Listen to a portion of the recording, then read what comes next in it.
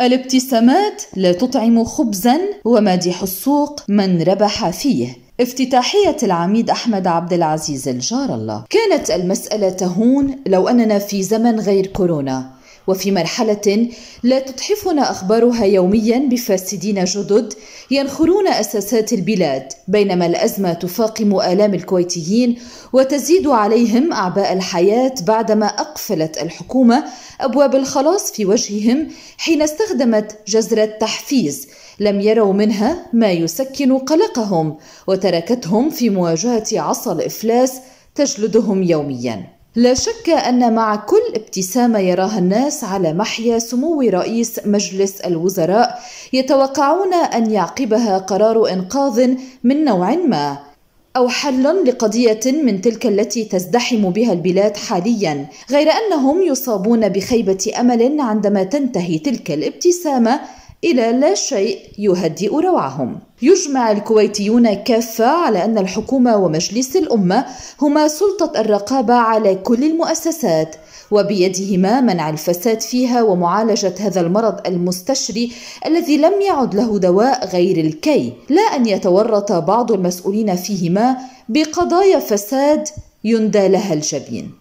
أيضا هم يرون أن السلطة التنفيذية صاحبة الكلمة الفصل في حماية الأموال العامة وتنميتها عبر الاستثمارات المربحة اكان في الداخل أو الخارج فهي المؤتمنة على منع أي تراجع في الثروة الوطنية وتتحمل مسؤولية التقاعس وحدها. أما مهمة السلطة التشريعية فالمحاسبة والمراقبة لا أن يصبح الابتزاز هم النواب الأول يسعون عبره إلى مراكمة رصيدهم الانتخابي.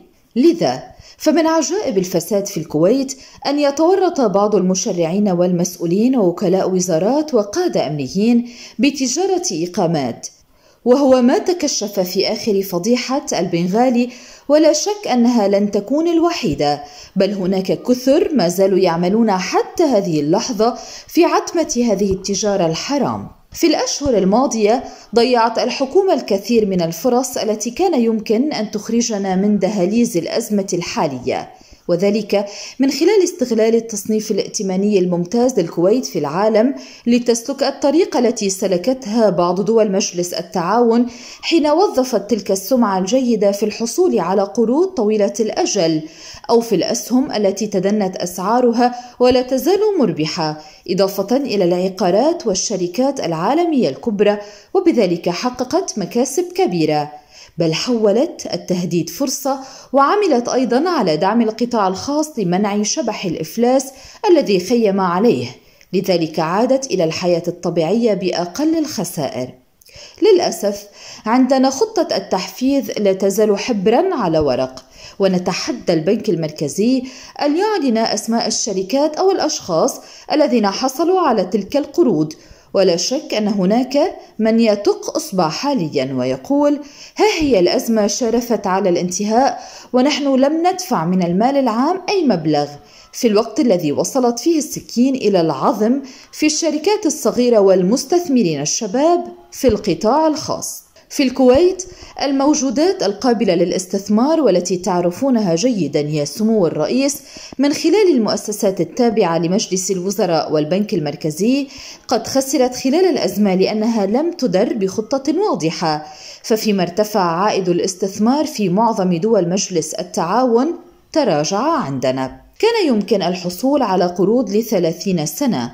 وبدلا من ذلك لا تزال السلطة التنفيذية حبيسة المزايدات النيابية في قضية قانون الدين العام. والواضح تماما أنها لن تقدم على خطوة جريئة لخوفها من خيال المساءلة فيما الأزمة تستفحل. بيد الحكومة سيف مراسيم الضرورة الذي يمكن أن تقطع به رأس أفعى التمصلح وتمنع كأس مرارة الأزمة عن شفاه الكويتيين. وبالتالي فإنها لن تحصل على العشرين مليار دينار التي طلبتها لتعزيز الاحتياطي الذي للأسف يتآكل جراء المغامرات التي تعم الساحة حاليا فيما هي لا تزال ترتجف من النواب. وفقا لآخر التقارير عن الخسائر التي تكبدها العالم جراء جائحة كورونا فقد وصلت إلى 21 تريليون دولار.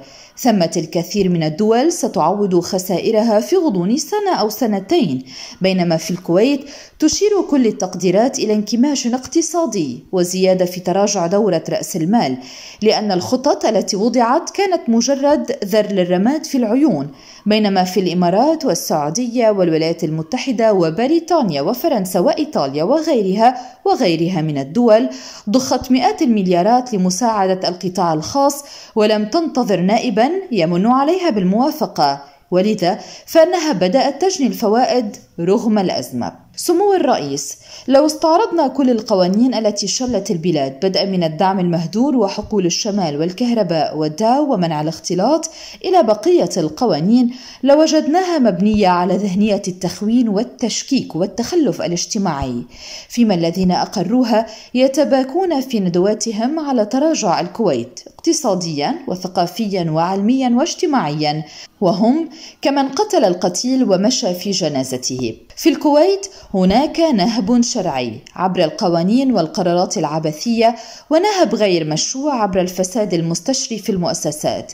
وكل هذا مكلف ويدفعه المواطن من مستقبله ومن الثروة الوطنية. واليوم مع أزمة كورونا وتبعاتها السلبية ستزداد المشكلات إلى حد يخاف فيها الكويتي على مستقبله. كل ما نسمعه مجرد أحاديث عن فساد متبوعة بابتسامات بينما لم نرى أي علاج ولن نقول لسموكم انظروا ماذا فعلت بعض دول الخليج بالفاسدين بل تعلموا من الدول الأوروبية الغربية كيف يعاقب من يرتكب أدنى مخالفة بالمال العام. فالمتهرب من الضرائب يسجن عشر سنوات بينما في الكويت لم نسمع عن فاسد واحد أدخل السجن أو شهر به. بل بعض الذين نهبوا من المال العام هربوا في وضح النهار إلى الخارج ولم تقدم الدولة على أي خطوة لاستعادة تلك الأموال. أما في خطة التحفيز التي من أهم شروطها أن تكون الشركات رابحة ولديها سيولة وموجودة للرهن فهل تتصورون يا سمو الرئيس ويا محافظ البنك المركزي أن من لديه كل هذا هل هو بحاجة إلى قرض للتحفيز؟ في الدول الأخرى كفلت الحكومات تلك القروض وخففت عن المقترض الشروط ولم تضع تدابير عبثية تعجزه وسهلت حصوله على المال لتسيير عمل شركاته والحفاظ على عملته. شكرا سمو الرئيس على ابتسامتك. لكننا نصدقك القول إنها لا تبعث فينا الاطمئنان. فما يطمح إليه المواطن قرارات حاسمة تنقذه مما هو فيه وتوحي لنا. ان مستقبلنا مضمون وليس مجرد بيانات لا تسمن ولا تغني من جوع. ففي أمثالنا الشعبية من حضر السوق باع واشترى. ويبدو واضحا أن الكويت لا باعت ولا اشترت بل انشغلت طوال الفترة الماضية بالشعارات والأقاويل والابتسامات التي يبدو بعضها كأنه للسخرية.